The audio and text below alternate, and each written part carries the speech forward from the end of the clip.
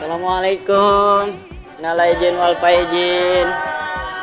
Nalai izin wal faizin ya semua.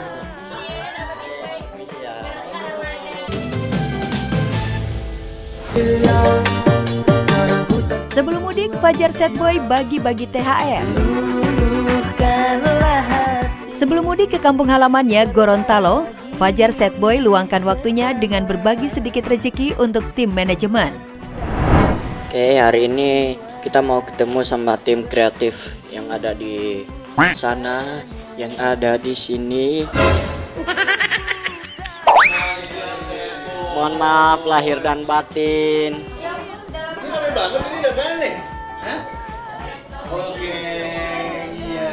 Assalamualaikum. Nalai izin wal faizin. Nalai izin wal faizin ya semua.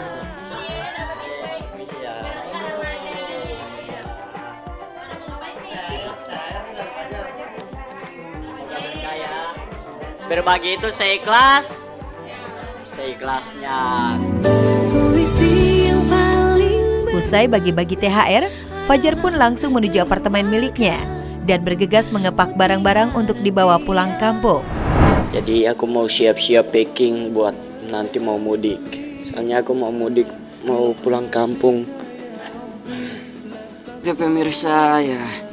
Ini Alhamdulillah udah beres ya baju-baju Ini baju yang mau dibawa pulang, yang mau dikasih keluarga atau teman-teman. Ini oleh-oleh buat orang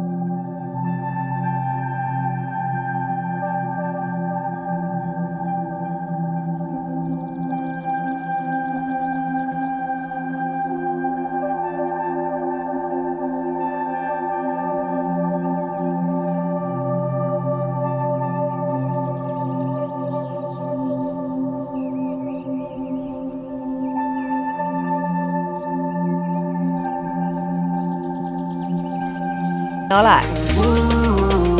Kelakuan anak Gen Z memang gak ada lawan.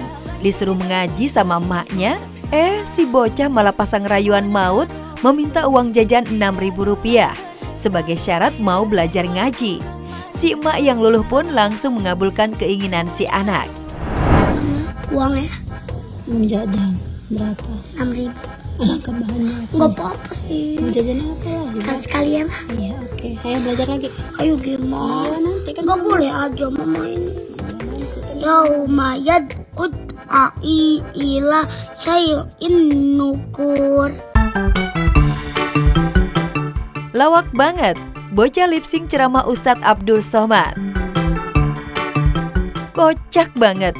Kelakuan bocah laki-laki berikut ini bikin kita terhibur. Dengan gerakan yang luas tanpa salah, serta mimik wajah yang mengekspresikan keseriusan, bocah laki-laki ini sukses lip sync ceramah Ustadz Abdul Somad. Anehnya manusia ini Pagi-pagi pulang petang Peras keringat, banting tulang, tunggang langgang, lintang pukang. Mencari makan. Begitu makanan sudah ada Tak bisa makan. Bapak tak makan kambing, kolesterol. Tak makan kepiting, bukunang-kunang Tak minum teh manis, diabetes meletus. Salut aku acungin jempol buat adiknya yang bisa menirukan lip gerak mimik dari uh, ceramahnya Ustadz Abdul Somad ya. Ini keren banget asli